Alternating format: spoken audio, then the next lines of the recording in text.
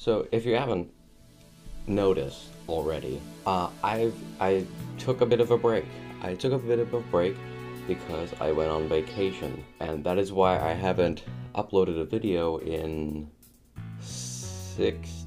Six days. So I was just gonna talk about the different things that I encountered along along this trip, and one of them was IKEA, the magical, wonderful place that was IKEA.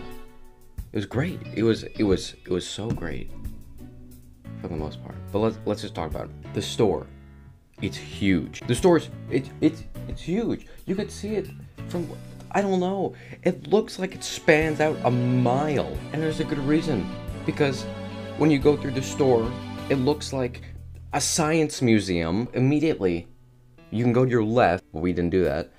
You can or you can go up the escalator to the second floor. But upstairs, upstairs, you have all of these different, like, they made rooms out of their furniture and stuff, and you're just like, miles and miles of things that are just there. They're, we're never gonna get out. But first 30 minutes, great experience. We looked at all sorts of furniture. Reality starts to kick in. Reality starts to kick in. As usual, I realize Mr. Bones still dead, but actually very much alive. But I then realized something about IKEA. My feet started to hurt. And this was only 30 minutes in, my friends. 30 minutes in, we were only a fraction of the way done. And so I'm, I'm, we're walking through. I'm just like, we're never, we're never gonna get out. I think I've said that multiple times. Mm. Why not make some, make some discoveries along the way? Because IKEA is known for their not like having the English translations of the names, so you have like different names around them, and then like there's this one viral video of a guy like making puns to his girlfriend, and so I started looking through that. I was just like, this might be funny, but I was. I didn't want to record in IKEA because it was busy and stuff. And my friends, what I found was incredible.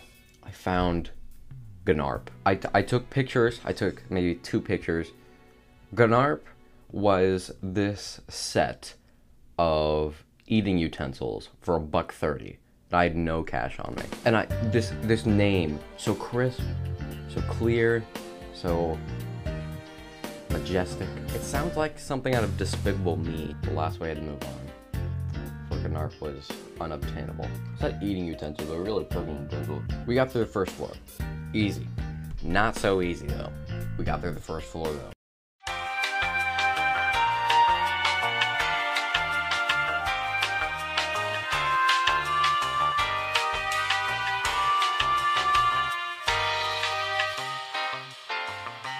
And we re replaced all of our glasses, all of our. This. 79 cents from IKEA.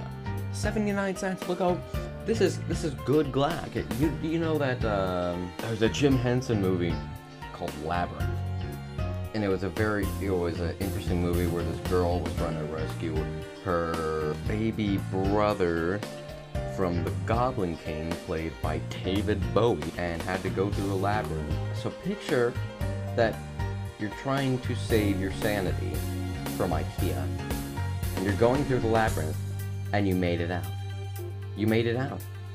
Well, but your insanity kicks in, the one that you were trying to preserve, and you walk through thinking that you were free, going into a giant freaking warehouse. I don't know how high the ceilings were, maybe like a hundred foot, and there were racks going from the bottom up, lined with boxes. I think I need to talk about a different topic, to be honest. So, let's not talk about IKEA anymore, and we will talk about something else. Another game that's interesting is Pokemon Conquest. You heard me right, Pokemon Conquest, and you're probably thinking, Gene, that is a Nintendo unfriendly word, and you'd be right, except this is a Pokemon spin-off game. What I'm pretty sure Pokemon spin-off means is that the